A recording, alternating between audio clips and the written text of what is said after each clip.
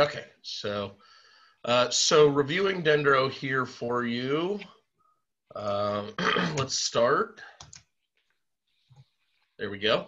Uh, with the elms. Uh, so the elms seem to be harder to identify um, from just photos. Um, it, it's kind of easy to tell you have an elm, but then telling which elm is much more subtle on photos than it might be face to face to face with the tree. Um, so slippery elm and an American elm, normally you'd grab the leaf, you'd feel for the sandpapery back and top on it, know you've got slippery elm. You can't do that with a photo, and unless the photo is real high resolution of the back of the leaf, showing you that scabrous surface, which is unlikely, you have to use other features. Uh, so the bark is similar on these two species, the leaves are similar, the fruits are similar. The twigs are going to be your biggest difference, other than that leaf texture. Um, and we, we know you can chew the twigs live on the tree and get that snotty texture on slippery elm, um, but you can't do that on a picture. So, uh, so what you want to do is look at the twigs and note that slippery elm is going to have really gray twigs with a black bud. Now that black bud may have a little brown in it, uh, but black is the overriding color there. Whereas American elm is going to have a brown or tan twig with a brown or tan bud. And so that's going to be what you look for there. That bud may have some black on the scales a little bit, brown's the predominant color. now, when you're looking at those twigs, obviously, slippery elm and American elm do not have wing twigs, whereas winged elm and cedar elm do. And so winged elm and cedar elm are going to be pretty hard to tell apart. You need to use the leaf size, where winged elm has notably longer leaves than cedar elm both winged elm and cedar elm, the leaves are going to look like they're about half the width of slippery American elm. So they're narrower leaves. So that can cue you in that you've got one of them. The wings on the twigs can cue you in that you've got one of them. So then the question is, how the heck do you tell a three inch long leaf apart from a one inch long leaf on a photo? And so what you want to do is just compare it to the twig size. And remember that all these elms are going to have zigzag slender twigs.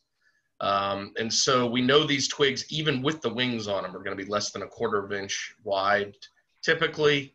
Um, so, you know, they're going to be even narrower than that on these twigs that are unwinged. So just look at the twig, look at the leaf on that same photo, kind of get a sense for size. And if the twig looks really big, it's because the leaf is small. That's a cedar elm. Um, if the wing twig looks pretty small, then you're comparing that to the leaf size. That's probably going to be a winged elm. Yeah, Greg. Uh, doesn't uh, slippery elm have like reddish uh, uh, twigs when they're first forming?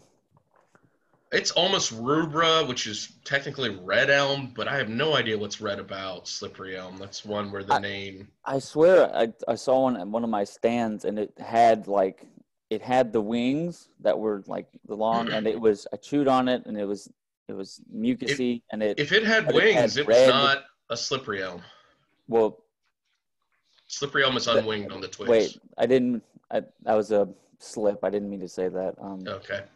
It had the the mucusy texture, but it also had like some new growth foliage that was like red. I, I, would not use the coloration of actively expanding leaves, especially when they're real small. Almost almost all species, when they're flushing, will have leaves that are initially either green or red. Um, they'll be green if chlorophyll is the dominant pigment that it's already picked up, but there are other pigments like xanthophylls uh, that may give it a reddish color as the chlorophyll is building up within that leaf as it's expanding. Well, this wasn't so the leaf color of actively flushing tissues is not a helpful ID feature. So, like, not if the twigs are red, that wouldn't be. A, if it's actively flushing, it's not a helpful okay. ID feature. Yeah. I guess we'll have to figure out what makes it red. It, it's going to be the pigmentation. Uh, it's no, the same thing backwards for fall color. So with fall color, you start picking up fall color because the chlorophyll degrades, revealing other pigments that have been there all along, like xanthophyll. Well, I uh, mean, uh, so you're just seeing that in reverse. The chlorophyll hasn't developed yet. Why it's called red elm? So it's kind of. That's weird. not why it's called red elm because all sorts of species do that. I really don't know why it's red elm, but we'll have to figure it out. Okay, hickories give folks a lot of trouble online. Um, and so people will confuse ashes and hickories. Uh, remember that the ashes are alternate, the hickories, well, I wrote that backwards, didn't I? Let me go ahead and fix, well, no, it's, this is backwards. It should say ashes are opposite, hickories are alternate. Uh, so keep that in mind. Um, I think they give people trouble um, because they both have the anastomosing bark, so the bark is forming diamond shapes, um, and they both have pinnately compound leaves. Generally, ashes will have entire leaf margins, so they won't have serrations on the leaf margin, whereas the hickories are going to have serrated leaf margins. So that's another way to tell ashes and hickories apart. Of course, if you've got a nut, it's a hickory, right? Ash has samaras. Um, but then how to tell the, the hickories apart, I think in this format, you need to pay more attention to how many leaflets they have and the nature of the twigs. Um, so mockernut's going to have seven to nine leaflets. It's going to have Hershey Kiss shaped buds, stout. They'll have deciduous white scales on them. And look for the tomentum, the fuzz on both the twig um, and on that rachis. Uh, for shagbark, it's going to be the one of all these hickories that really has five leaflets. So if you see a hickory with five leaflets and those terminal three leaflets are bigger, that's going to be a shagbark.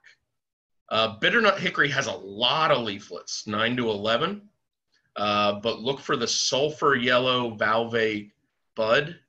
That's going to distinguish it from the other hickories more than anything. Also, at a given size, if you have a big tree, so a tree 12 inches or bigger, bitternut hickory is going to have the smoothest bark. Okay. Um, black hickory is going to look like mockernut, probably five leaflets, maybe seven leaflets. Seven's going to be most common. The buds will be yellow but with scales. So it'll have yellow buds like bitternut, but they're going to have scales on them. But look for the really black color to the bark. That's why it's called black hickory. So that's Carya texana. Um, then I put pecan and water hickory together. Remember, water hickory Carya aquatica is also called bitter pecan. These both have a lot of leaflets. They're curved. They're all about the same size. And really, the best way to tell these two trees apart is if you have the fruit. Without the fruit, they're going to be very difficult to discern from one another. And remember, pecans are kind of like hot dogs, and water hickories are kind of like hamburgers in terms of the shape of the fruit. Pecans are long and tubular, and water hickory nuts are squashed flat along one axis. Um, I don't have, um, let's see, nutmeg hickory on here. That'd be kind of cruel. Um, but for nutmeg hickory, you're looking for silver glands on the leaves and smooth bark. Uh, but nutmeg hickory is so rare. Uh, you, you know, that's that's the challenge with these image quizzes. You might find more rare species, but if you see a hickory and it looks like someone's dusted it with silver spray paint from far away, that's going to be uh, your nutmeg hickory. Maples are surprisingly slightly more different online. Um, people mix up red and Florida maple more. Uh, remember that all the maples are opposite, and then remember to look at the leaf margins. Uh, Florida maple has smooth or entire leaf margins. Red maple has serrated leaf margins. Uh, so that's how you'll tell those apart. Box elders compound. Um, and then if you see a, I don't think Japanese maple is even on our list, but if it is, that one's going to be obvious. Um, so I will have people face to face mistaking red maple and Florida maple. Um, if you see something red on it, especially fall color, that doesn't tell you anything. Okay, look for the serrations on the leaf margins. That's diagnostic. Uh, it's easy to confuse both these with sweet gum, more so online maybe than face to face. Um, remember, sweet gum is both alternate and has serrated leaf margins. Sweet gum is usually easier to confuse with Florida maple, so both those will help you avoid making that mistake. hornbeam and hop hornbeam may be a little more difficult online. Um, remember, these leaves kind of look like elms. They're doubly serrated. They're about the same shape. Um, they are less asymmetrical, so that's a double negative. They're more symmetrical. Okay. Uh, the elm leaves always have that lopsided base. They're really pretty symmetrical for the most time on uh, hornbeam and hop hornbeam. And what you'll notice is ever so slightly where the petiole connects to the base of the leaf, there's going to be a slight heart-shaped indentation on these two species. You do not see that on the elms. That's a subtle but helpful feature. But if you look at anything that has a leaf that resembles an elm at all, and you have a bark photo, pay attention to that bark photo. Uh, that bark photo is going to be critical. Hornbeam has smooth bark that's fluted and muscly. Remember, another common name for it is musclewood. Hop hornbeam looks like cedars where it peels vertically, whereas elms are going to have flat ridges, more easily confused with sweet gum. Um, but there's going to be white corky material somewhere, and the ridges end in a half circle. Not everywhere, but in enough places that it should be obvious. So that's what you look for on the bark to discern these three. The fruits can help you too. Um, remember, all the elms have samaras that look like someone cut off an ant's head.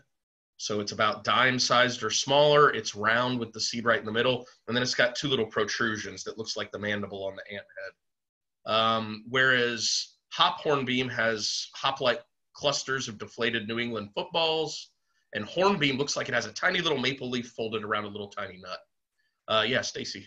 Are you going to post pictures of the fruit with the photos? All, you can find pictures of all of this stuff on the course website. Okay, Uh, I didn't know if in the quiz though we would get a variety of pictures or if it's just going to be one picture. It, on just about everything, I think it's multiple pictures. Um, the only time you're getting one picture is when it's real obvious what the tree is with one picture. Um, but if I put up a picture of, say, an elm, a hornbeam, or a hop hornbeam leaf, um, and that's sitting there alone, I know that's not enough to ID it. So you're also going to have a picture of a twig or the bark or something else that uh, will make it identifiable to species. I'm giving you these guidelines. These I didn't make these based on the quiz today because honestly, I made the quiz like two weeks ago. I made this two days ago, and I don't remember which species are on the quiz. So I'm not trying to give you clues as to what's on the quiz. Uh, this is just my recollections of what was the most common mistakes people were making in the latter half of the spring semester. So Okay. but yeah, you have multiple you have multiple photos on all species unless one photo is really diagnostic, and where you need sight. So in this format, blue jack oak and laurel oak may be hard to tell apart, right? Um, because they're both unlobed oaks. Um, but the, for stuff like that, we wouldn't make that mistake in the field because laurel oak is a hydric-sided species, mesic-sided species, whereas uh, blue jack oak is a xeric-sided species. So what I may do there is either give you a picture of the site, so you may have a picture where there's water standing, or you may have a picture of a real xeric-looking sandy site with small stunted trees to indicate that it's xeric, or you might get a little textual description saying, "Hey, there's some blackjack oak and yucca near this," or "Hey, there's willow oak and um, dwarf palmetto near this." So you would get other indicator species I would give you to key you in to what that site is. So that's how that may be handled. Okay, vines. Uh, the biggest surprise I think I got um, with switching to the photo format this spring semester is people could no longer tell grapevines and redbud apart, uh, which I've never seen happen out in the field. So I guess if you just get a leaf, sometimes it can be hard to tell you have a vine. Um, so just look at it closely um, and see if you can figure out if it's a vine or if it's a tree. One good clue if it has tendrils, it's not a tree. So if you see tendrils, that's definitely going to be a vine. So start thinking of which vine it can be. On those tendrils, summer grape has forked tendrils, muscadine grape has unforked tendrils. So that's the key distinction between them. If all you have is a grape leaf and the tendrils, that should tell them apart for you, since those are the only two grapes uh, that are on our list. Peppervine and trumpet creeper have always been hard to tell apart for students in the field, and I think it's because the leaf complexity, you're not looking at it right. So if you look at a peppervine leaf, which is tripinnately compound, and you don't realize it's tripinnately compound, it can look like opposite pinnately compound leaves, which is what trumpet creeper has. Um, so when you look at these two, the color is going to be a good way to tell them apart. Peppervine has really dark green leaves. Trumpet creeper always has yellow green leaves. Um, and then if you can recognize it's tripinnate versus just pinnately compound, that'll help you tell them apart because trumpet creeper is opposite and pinnately compound. Um, and then if you have fruit, the fruits are nothing like one another because peppervine's in the grape family. So it has black looking grape like fruits uh, that are real spicy if you eat them. But as those are ripening, they'll be pinkish or reddish or purplish until they're ripe, at which point they're black. Um, whereas trumpet creeper is in the Bignoniaceae family. So it looks like it has a legume, but it's round in cross section. Um, so, and it's got really showy flowers on trumpet creeper, not on peppervine. So there's a number of other key differences. The vine on peppervine is going to look like a grapevine. Okay. Uh, the vine on trumpet creeper is very tan in color and often grows straight up and down a tree like a poison ivy vine would, kind of. It doesn't have the aerial roots, but it will grow straight up and down a tree like that. So that's a little bit on vines. Oaks uh, are going to be more tricky in this format. Um, and so as you start looking at the oaks, remember, look for bristle tips to tell if you're in the red oak group or white oak group. Red oaks have bristle tips, white oaks don't. Um, bur oak and white oak have been hard for students to tell apart. Remember that bur oak looks like you took the top half of a leaf from one species, the bottom half from another species, stuck them together, made a new franken leaf, and that's a bur oak leaf. So it's going to be real deeply lobed, often near the petiole at the basal half of the leaf. The apical half of the leaf, the lobing will be much more shallow. And so look for that difference. They're large. Uh, white oak is more uniformly lobed throughout the entire leaf. So that's a good way to tell them apart. White oak bark gets platy, bur oak not to the same extent. I didn't put overcup oak on this slide, but overcup oak is going to be another one that you could confuse with bur or white oak. Of course, if you have a picture of the acorn in there, you won't make that mistake uh, where it has the cap that goes completely over the whole nut. Um, if you have a picture of the site, uh, bur oak and white oak aren't going to grow on really, really wet sites where the trees might have water lines on them five or 10 feet up. Okay. Uh, they can grow on wet sites, but not that wet. That's going to be over cup oak. But the really good way to tell them apart, over cup oak, the back of the leaf is very white. So if you get something and it's a white oak and there's a photo of the back of the leaf and it's really white, like a sweet bay would be that white, then that's going to be over cup oak. Okay, so looking at the red oaks, uh, southern red oak, cherry bark oak, Shumard oak, and Nuttall oak have been difficult for students to tell apart. Um, and so with those, first start looking at how the leaf is lobed. If each of the big main lobes just ends in one bristle tip, that's going to be southern red or cherry bark oak. But if each of the main lobes splits up into multiple smaller lobes with multiple bristle tips at the end, that's going to be Shumard or Nuttall oak. Okay? So use the pattern of the lobing itself. Um, I probably need to fix the Southern Red Oak uh, photos on the Dendro site. As we flipped online, I started looking at all this stuff more. Honestly, some of those are probably cherry bark oak, so that's something I need to fix. Um, but Southern Red Oak is going to have a bell-shaped curved base. It's very rounded, so a half circle. Whereas cherry bark oak has a flat, straight base. So that's what you want to do to tell those two leaves apart. With Shumard oak and Nuttall oak, with those split up lobes, Shumard oak, they're deeply incised and very symmetrical, and there's going to be a lot of sinuses and a lot of lobes. Nuttall oak, it's going to be more lopsided. It's not as symmetrical. There's not going to be as many sinuses. There's not going to be as many lobes. Each of the lobes will still be split up into multiple other lobes, but there's not as many of those main lobes.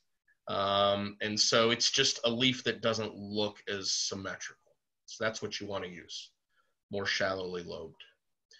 Um, blackjack oak, if you're we're having a really bad day, you could confuse it for southern red oak, but remember, it's just a big old water oak leaf. Okay, uh, thick, waxy, large water oak looking leaf with three lobes at the end. Uh, water willow and laurel oak have always been difficult to tell apart. Water oak's more easy to tell apart from the other two. Um, but with willow and laurel oak, they're very, very similar but willow is going to have noticeably narrower leaves. Laurel is going to have noticeably wider leaves. Um, and so willow oak from a photo may almost look grass-like in how narrow those leaves are. Uh, and it's going to have a lot of leaves. Laurel oak's not going to have that grass-like appearance because the leaves are wider and broader. Um, and it's not going to have quite as many of them as close together. So use that to tell those species apart. I already talked about blue jack oak, how you confuse it with uh, willow oak, laurel oak, but uh, it's going to be on a dry site. So use your site characteristics there.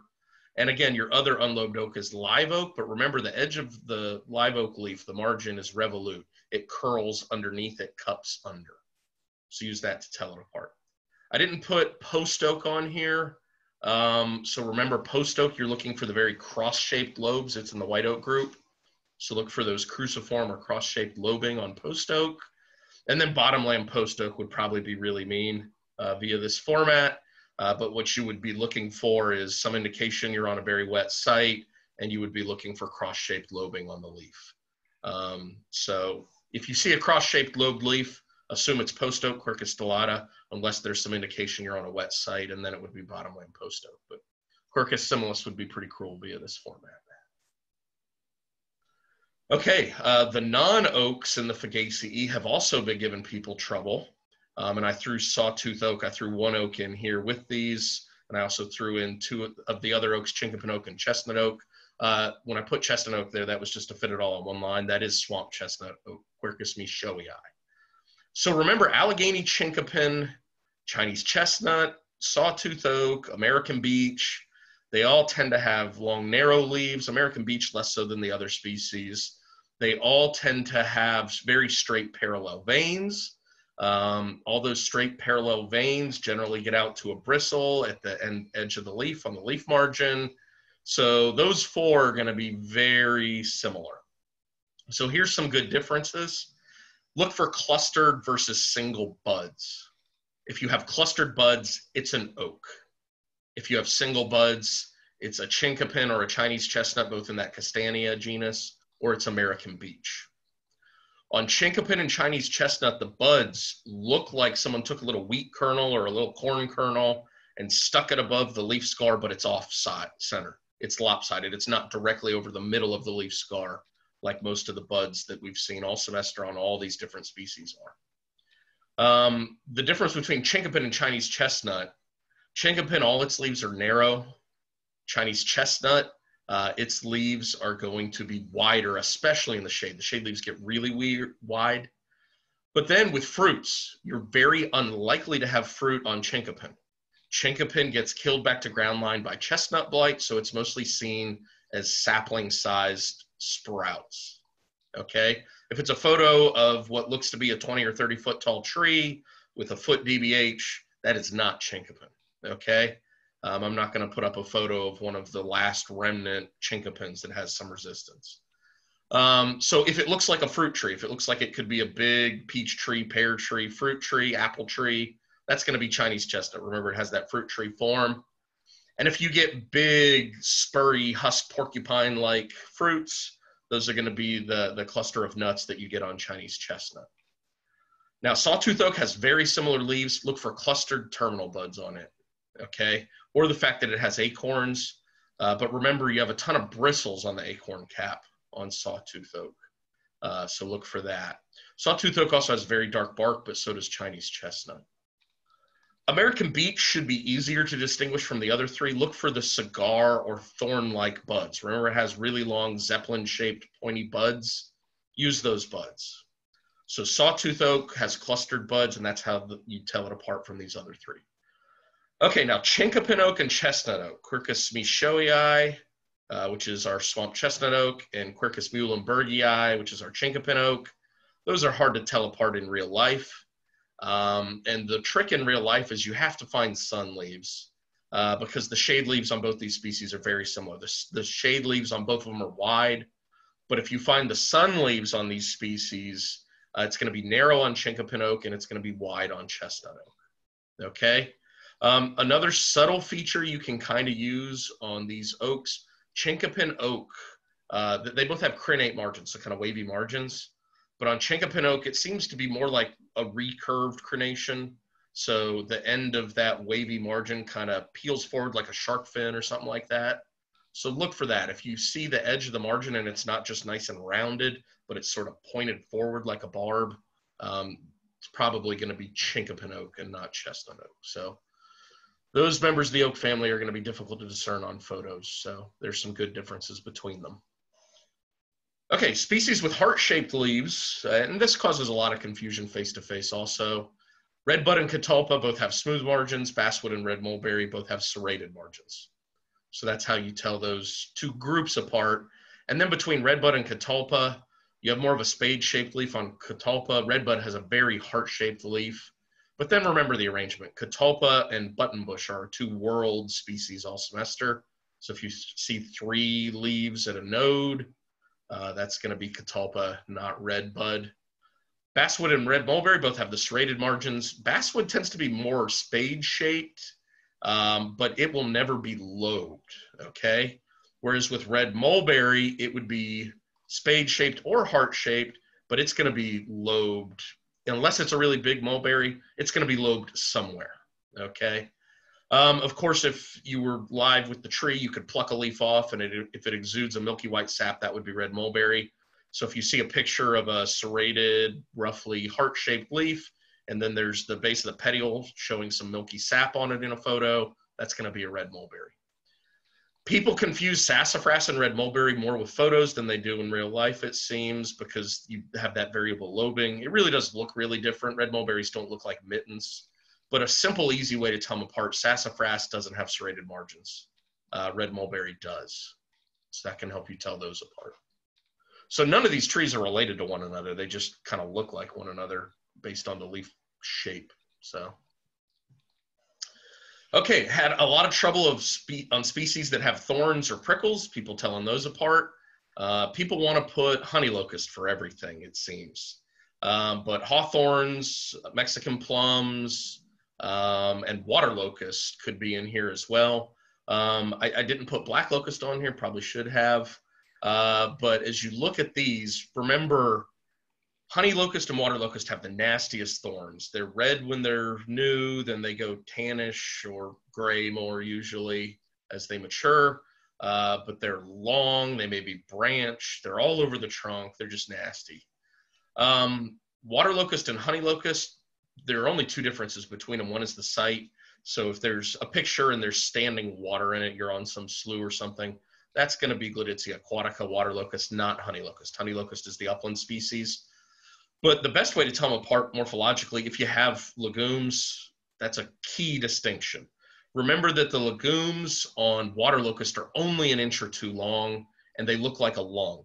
Each one is shaped like a lung.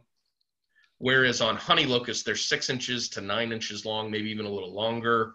They're spiraling or helical or maybe curved and banana shaped, but they don't look like a lung at all. They're way too long. Okay. So use that. And then remember, if, if you have black locust, I should have put black locust on here. Um, it's going to have paired stipular spines. So they're going to be sticking out right by the leaf scar in pairs. They don't branch. And they're much shorter. They're not nearly as long as a honey locust or water locust thorn. Um, and so those are all compound leaves. Both honey locust and water locust can be pinnate or bipinnately compound, pretty small leaflets. Um, and then you have Hercules club, which is pinnately compound. Remember, another common name for it is prickly ash. Or you have devil's walking stick, which is tripinnately compound, huge leaves. Each leaflet's small, like an inch, but put them all together on that big compound leaf and it'll be three to five feet long. Uh, but they'll get prickles on the stem, they'll get prickles on the leaf. So if you see some sort of pointy, spiky thing that's actually on a leaf, part of a compound leaf, you know you've got Hercules club or devil's walking stick. Look at the other features in there to help tell them apart. Um, if it's got simple leaves, okay, remember you're going to get red, straight, needle-like thorns on hawthorns, Crataegus spp, um, or parsley hawthorn, the only one we did to species. So they don't branch as much. They're skinnier than those honey locust or water locust thorns, and the leaves are not compound. Um, honey locust and water locust and black locust, they all have entire leaf margins, leaflet margins whereas hawthorn doesn't. It's almost always a serrated leaf margin on those species. Um, if you get little red apple looking fruits, tiny apples, pomes, that's going to be a hawthorn. Um, if you get bark that looks like crepe myrtle, that's going to be a hawthorn. So lots of good differences with those other species, but people have been missing hawthorn a lot, putting other things, uh, mostly honey locust, I think. Uh, the other thing you want to look for on the hawthorns is they have the spherical, globose, round, red buds. So look for those. Um, I see this sometimes out in the woods too. People will mistake Mexican plums for river birch. Uh, river birch doesn't have thorns. Mexican plum has thorns. So if you look at it and you're like, ah, it's a river birch, but why does it have thorns? It's a Mexican plum. That's why. Um, and then remember on the leaves, Mexican plum has elliptical or round leaves. River birch has very triangular leaves. So don't don't mix up river birch and Mexican plum. Okay, some species you really want to focus on the bark. Some of them you're not going to have any trouble with this. Sugarberry I threw on there. No one's going to screw up a sugarberry, I don't think. Uh, black cherry, you know, you, you all have trouble with this face to face out in the woods, but really no black cherry bark. It's going to have gray cornflake like scales that'll have horizontal lenticels on it, like someone's been stabbing it with a steak knife. Um, and then you've got that complex of persimmon, dogwood, and rusty black haw where all their bark looks similar because often you don't have scale in a photo. So you don't know how big the blocks are. Young persimmons will have smaller blocks. They get larger on older persimmons. Um, but really, what you're looking for there, persimmon has big blocks that look like someone has stuck hardwood lump charcoal to the tree. Those blocks are made up of multiple layers you may be able to see sticking out of the tree. Persimmon is also alternate. Dogwood and rusty black are opposite. So that's another good way to tell them apart. Now you can't feel the bark through a photo to see if it's corky or not. Of course, rusty black haw is the corkier one, but use the color and the appearance. Rusty black haw is going to stick out more, so it feels corkier, but it also looks like a thicker little block sticking out.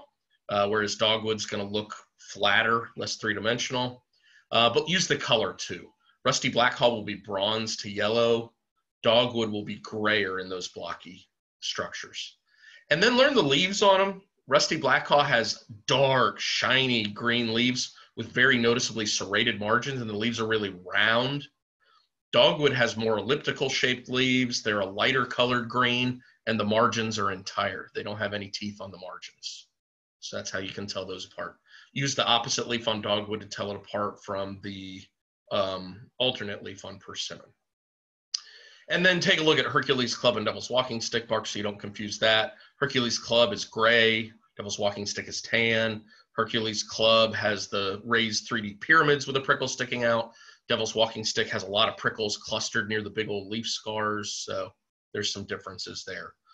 On a twig, Hercules Club will have um, gray twigs with dark black or purple prickles. Devil's Walking Stick has tan twigs with tan prickles. Okay, some of these are just really hard in real life and on photos. White fringe tree gives people a heck of a time in the field and definitely by photos. Um, look at the dark purple base of the petiole where the petiole joins the twig. It's going to be black to dark purple. Looks like it stains the twig. And then remember, white fringe trees in the ash family, the Oleaceae, it's opposite, but it sucks at it. Uh, so it, it, it misses a lot. So it's what we call sub-opposite. So it may look a little alternate, it may look a little opposite. So use that on the twig. This is also the twig where the, the leaf scar is raised and then sunk in. So it looks like uh, shoulder sockets. Uh, so it's got shoulder socket looking leaf scars. Black gum. So black gum is a slightly obovate. So it's slightly wider out by the apex, but close to elliptical uh, leaf uh, with an acuminate tip at the end. That's going to be a distinction from persimmon that just has an acute tip on the leaf. But sometimes black gum throws on extra acuminate tips on that apical half of the half of the leaf. If you see that, it's a dead giveaway. But remember, black gum is so hard to identify. We were looking at the uh, vascular bundle trace scars within the leaf scar, and it would be three dots inside an oval or a kidney bean. So that's what you want to look for. Elderberry seems to have given people a lot of trouble um, by photos. It gives people trouble in real life. It's a pinnate to bipinnately compound leaf. But what you want to look for, most species that are compound may only have stipules where the whole leaf joins the twig. Elderberry's weird. It's got those little like projection like stipules. Uh, they just look like a little nub on some sort of Nerf toy or something. Uh, but they stick out right at each leaflet joining the rachis. So that's going to be a good way to tell it. And then it's opposite and it's pinnately compound. So opposite compound, six species on our, our lab list all semester. Three of them are ash trees. You know it's not an ash. It doesn't look right for an ash. So you, you really, if you notice it's opposite and it's compound, you're trying to tell elderberry, uh, red buckeye, and box elder apart if it's not an ash. That's it. Uh, red buckeye has palmately compound leaves, so you'll get five or more leaflets sticking out like that. Um, and then on um, Acer negundo box elder, its leaves, you know, it kind of looks like poison ivy often. Uh, so you hopefully won't confuse it there. So um, I've already talked a little bit about persimmon. On persimmon, look for the twigs. Look for the black triangular bud. Look for the dark green leaf. You can ID persimmon off the leaf color uh, and the fact that it's that acute tipped, elliptical to slightly obovate shaped leaf. Really, persimmons are more elliptical. They're widest at the midpoint of the leaf. Black gums are wider at the apical half of the leaf. There are a few things that have thrown people off more uh, via photos than I would have thought they would. Uh, people are mixing up wax myrtle and eastern baccharis a lot more than I would have thought. Um, wax myrtle has glands on it and it's dark green. Eastern baccharis doesn't have glands on it and it's a paler green color to the leaves. Um, if you see a cottony flower on it, that's Eastern Baccharis. Um, so, you know, you can see why people might mistake those. They both have long leaves with serrations at the apical half, but they taper and have kind of a cuneate base, a triangular base. Uh, but that's what you want to look for there. Beautyberry's throwing people off a lot more than I thought it would via photos. Um, of course, if you have the fuchsia colored fruits, they're easy, but without those, remember you have an opposite leaf and you have a wavy crenate margin. So you've got that wavy tooth margin with rounded teeth on it. So that's what you want to look for. Um, you'll also have the structures that held the fruits, the peduncles, and so they look like elk antlers. Use that.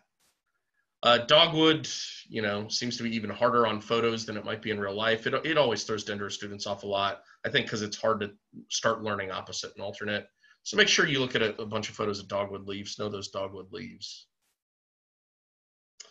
And then, you know, stuff that's rare in the field is no longer rare when you're just randomly pulling images off an image quiz. So you're more likely to see rare species in this format uh, than you would um, in the face-to-face format.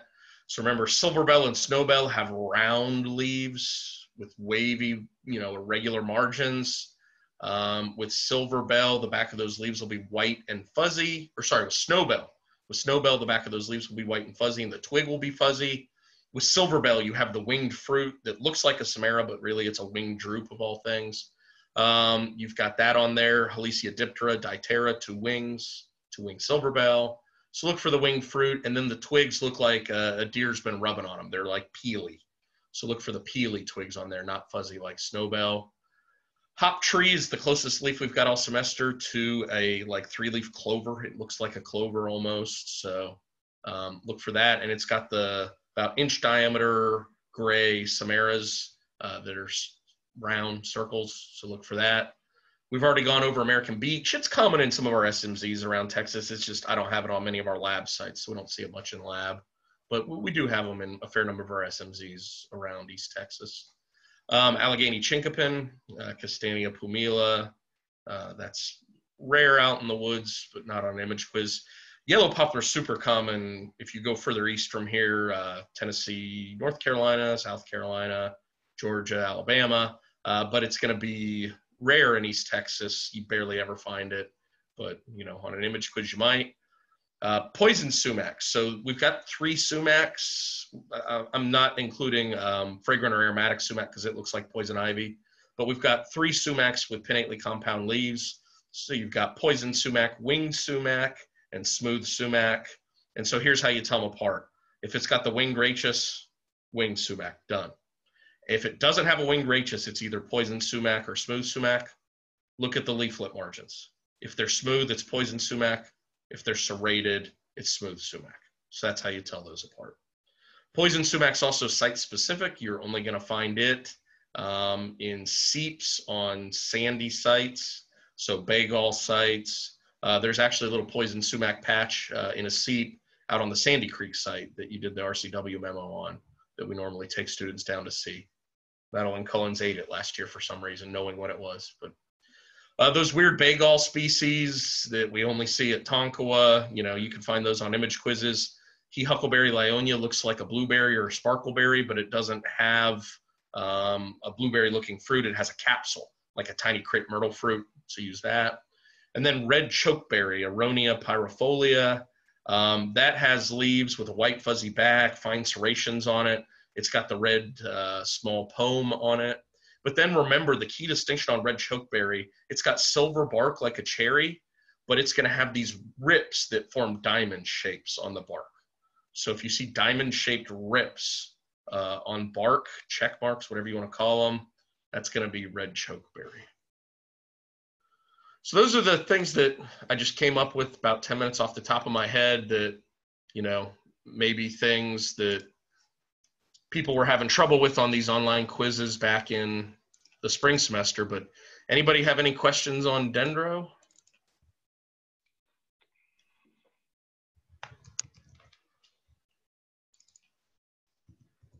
That was a lot fast, but you all already have the context for that, hopefully. So,